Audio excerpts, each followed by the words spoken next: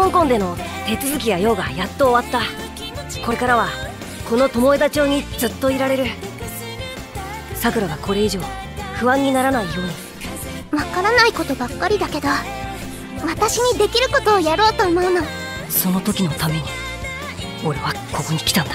カードキャプターさくらクリアカード編 NHKBS プレミアム1月7日午前7時30分スタート。